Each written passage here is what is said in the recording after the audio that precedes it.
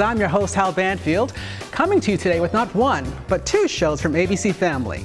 We're checking in with Switched at Birth and Twisted, two shows that are very popular who've got brand new episodes rolling out for their winter season.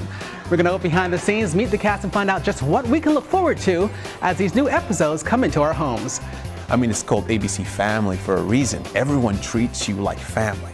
You know, we're a very family friendly set here. So get ready, we're going on set.